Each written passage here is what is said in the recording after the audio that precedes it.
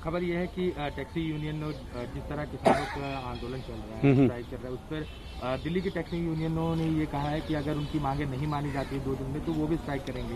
देखो ये ये बन गया है पॉलिटिकल मुद्दा। और हम देश के किसानों के साथ है कोई हमारे से अलग नहीं है वो भी मजदूर आदमी है भाई हम लोग भी मजदूर है।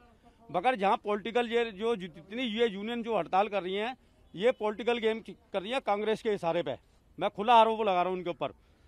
और ऐसी स्थिति में दिल्ली के अंदर कोरोना दिन पे दिन बढ़ता जा रहा है। और कोरोना दिल्ली की जनता को हम परेशान नहीं करना चाहते, एक मुश्किल टाइम में भाई उनके साथ खड़ा होना हमारा फ़र्ज़ है दिल्ली की जनता के साथ। और दूसरा मुद्दा यह है, जो ऑटो रिक्शा टैक्सी वाले हैं, उनका बिज़नेस बिल्कुल खत्म हो गया है। खत्म, एक चक्कर लगता है, एक चक्कर में अपने बच्चों को खिलाएँगे, क्या खिलाएँगे, क्या अपने पालन करेंगे गैस डालेंगे। ऐसी स्थिति में दिल्ली के ऑटो रिक्शा टैक्सी वाले हड़ताल पे नहीं जाएँगे, क्योंकि यहाँ रोटी रोजी का भी संकट पड़ चुका है।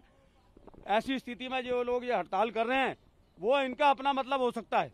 मगर दिल्ली के अंदर ऑटो रिक्शा टैक्सी की हड़ताल बिल्कुल नहीं होगी और हम, क्या नाम है, ऑटो रिक्शा टैक्सी वालों के हित को देखते हुए और हम लोग हड़ताल में नहीं जाएँगे जहाँ अगर बिज़नेस होगा तो आज ये स्थिति होगी, इनके भूखे मरने की नौबत आ किसी से भी मालूम कर लो। काम नहीं है तो फिर क्या करेंगे हम हड़ताल करके? सारे दिन में एक नंबर लगता है, एक नंबर में ये अपने बच्चों को क्या खिलाएँगे? और ऐसी स्थिति में हम उन किसानों के साथ हैं, पूरा देश उनके साथ है मगर उनके मुद्दे अपने हैं। ठीक है ना? हमारे मुद्दे अलग हैं।